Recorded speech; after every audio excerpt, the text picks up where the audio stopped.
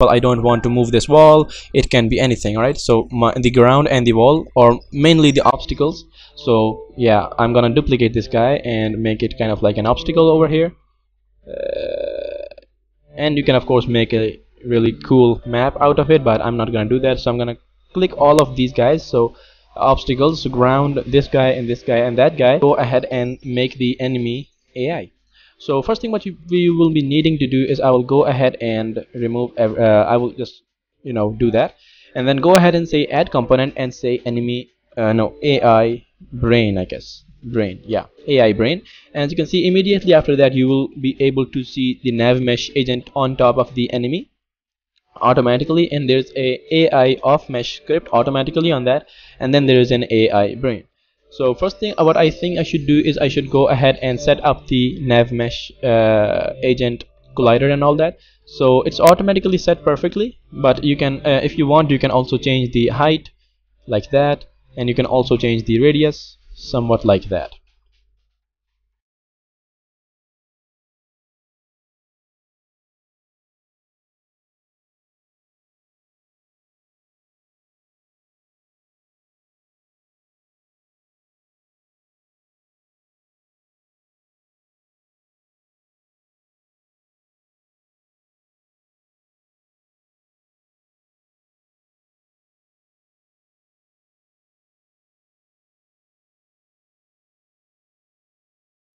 so once with you uh, you are happy with the nav mesh agent I'm gonna close that right now. And then uh, you have to ignore the uh, AI off mesh and then we have to come to the AI brain. Now there you can see there's a waypoint manager there's my path builder and then there are AI points and then the destination point and then the agent. So in the agent you have to just drag and drop the nav mesh agent just like that or you can just go ahead and drag and drop the whole enemy in there but and it's automatically take the nav mesh agent. And then what you have to do is you have to make the enemy waypoint manager. So in order to do that I'm gonna go ahead and say right click create an empty game object inside of the enemy and then drag and drop the game object out. And I'm gonna call this game object waypoint uh, manager. Today I can see my keyboard because it's not dark and go ahead and say add component and say waypoint manager. And as you can see there is a waypoint manager script uh, which is over here somewhere waypoint manager script. Yeah it will be somewhere over here I think. And in here what you have to do is you have to say uh, build path points alright? So as you can see right now there uh, the path, path, uh, path, points are zero. But as you can see if I click this guy uh, in the waypoints manager there are these points coming uh, along. If I just click this guy as you can see we can make loads and loads of these guys. But I'm gonna clear them all and I'm gonna go ahead and make four of them. So one two three four. Now if I come on the top and select one of the waypoint as you can see they show the uh, the gizmo of this guy uh, FP, uh, FS waypoint system. And if I drag it out you can see that there's a line signifying that where is uh, the waypoint all and all that. So that is pretty cool. I'm gonna go ahead and select all of these and bring them over here. Now what I'm gonna do is I'm gonna go ahead and select one of them. So I want the enemy to start over here. Alright I want to so this is the start point and this is the end point. Alright so I want to start the enemy from the over here. And then he should come over here and then he should go ahead and come over here. Or I can just come over here.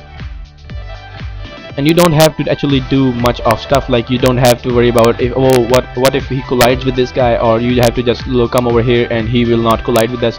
You can just put it inside over here and he will automatically readjust his path according to the obstacle and nav mesh and all that. So I'm gonna just go ahead and take this guy put it inside over here just for the trusting purposes and put this also in this guy so he has to actually reach over here. But he has automatically repath his you know thing. And I'm gonna put this guy in there. So each and every waypoint is inside of an obstacle and he will automatically readjust his uh, you know uh, readjust his uh, path and as you can see in the path points there are four points and one two three four and one two three four and all that. Now what you have to do is you have to go to the back to the enemy and go ahead and drag and drop your waypoint manager inside of the waypoint manager slot. And there you go. And I think that is that. Uh, make sure the nav mesh is already baked and then go ahead and say play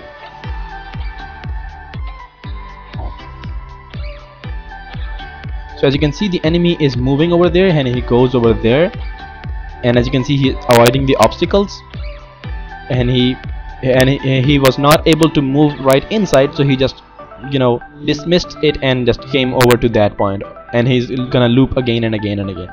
So as you can see he does not goes inside of this guy or do that. He is automatically repathing it and doing that stuff. So that is pretty pretty cool right now what we need to do is we need to add some kind of an animation inside of the enemy. Uh, in order to do that of course you will be needing a fully rigged character. If you don't know how to rig and animate your character make sure you see my video. The link will be in the description box below and it is really really easy really really easy and all that. Uh, so I already have a walking animation I guess.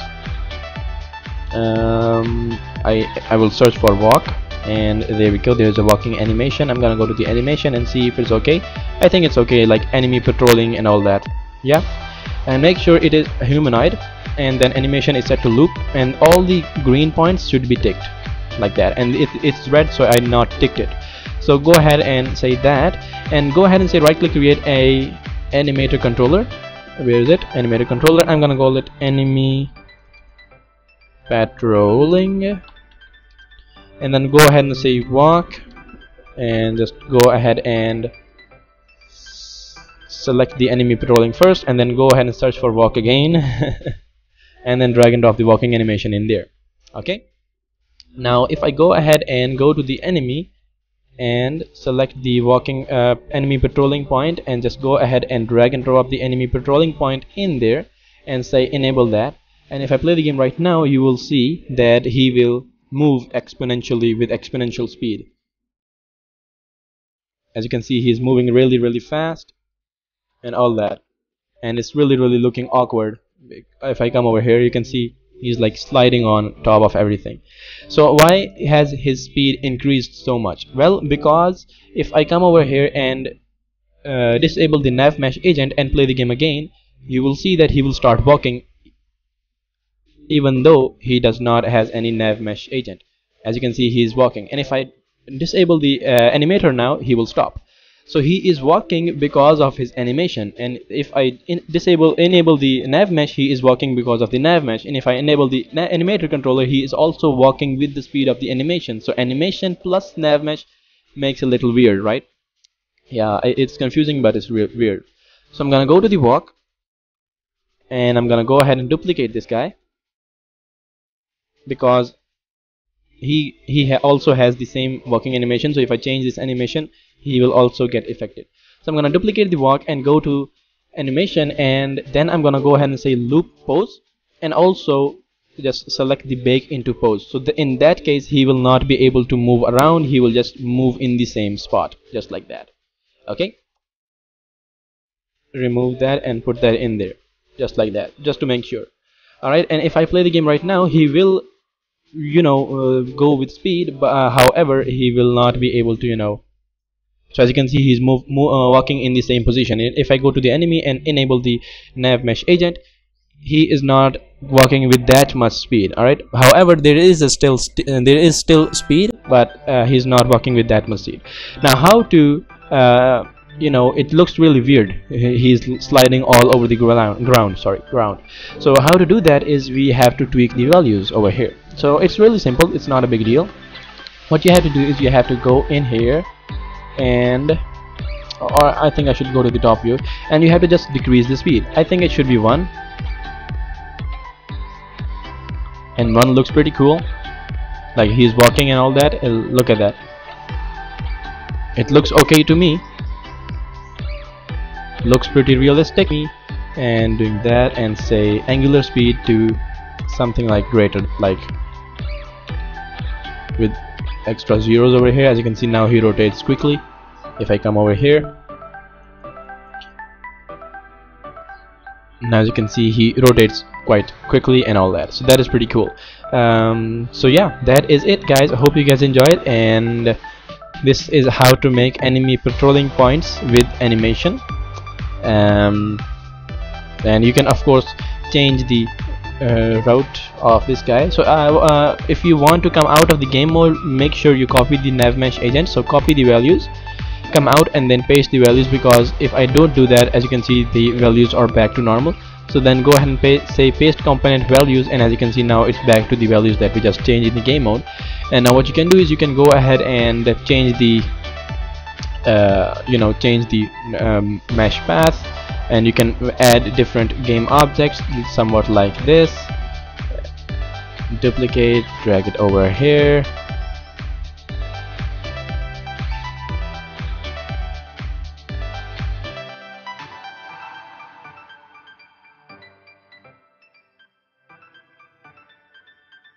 He will automatically readjust his path accordingly. So as you can see if I play the game right now he goes over there. Now he has to come over here. And as you can see there is no way to come over here. So he will go from here. As you can see. He's going over there. And then he will come back from here and then go over there and automatically readjust his path. So as you can see he's not walking on this area. He is only walking on the uh, area that is uh, blue. So he's not working on this area. He's only working on the area that is blue. So as you can see that is nice. Pretty cool. So he automatically adjusts his path.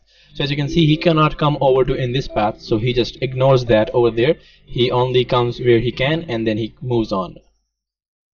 Nice guy. Nice guy indeed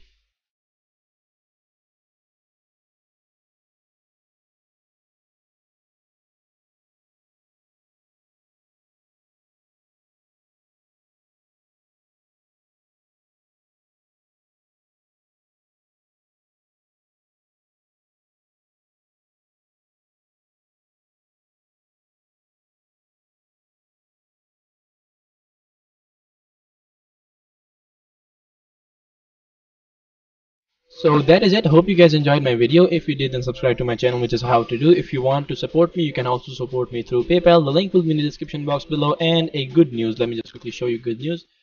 Come over here. Go to my watch hours.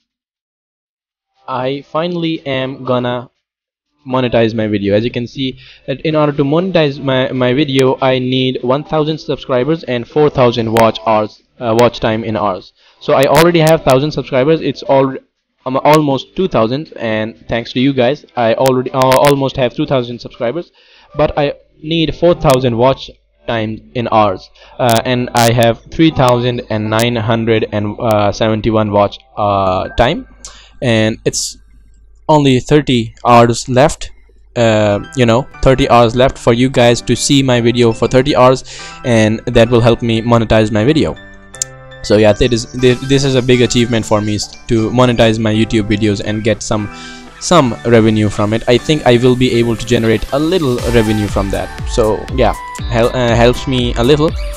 And yeah that is it. Hope you guys enjoyed and i will see you in my next video. Hopefully it will be monetized. Hopefully